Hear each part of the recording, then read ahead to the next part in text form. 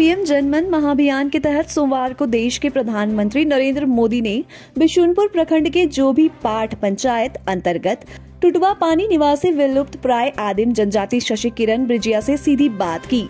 महिला ने बताया कि परिवार में सात सदस्य है। महिला समूह से जुड़कर खेती बाड़ी करती है। साथ ही फोटोकॉपी का मशीन भी खरीदा है। वहीं सिलाई मशीन भी खरीदी है, जिसे स्वरोजगार से जुड़कर काम कर रही है।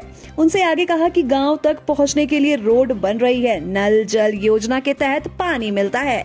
पिताजी को खेती बाड़ी के लिए पैसा भी मिला है। प्रधानमंत्री आवास स्वीकृत हुआ है इसके अलावा कृषि लोन का भी लाभ मिल रहा है। प्रधानमंत्री ने कई बिंदुओं पर महिला से बातचीत भी की।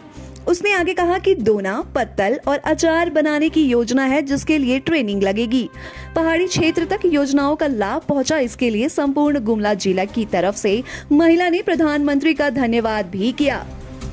आपका आयोजन और शानदार, जानदार बना दिया।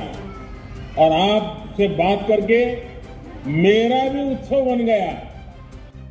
प्रधानमंत्री ने कहा कि 10 वर्षों से लगातार कोशिश हो रही है कि हर इलाके में हकदार और जरूरतमंद तक योजना पहुँचे और यही मोदी की गारंटी भी है।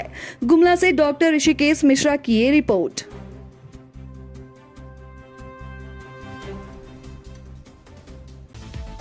अपने राज्य से जुड़ी हर ताज़ा खबरों के लिए आप हमें सब्सक्राइब करें साथ ही बेल आइकन बटन दबाना ना भूलें।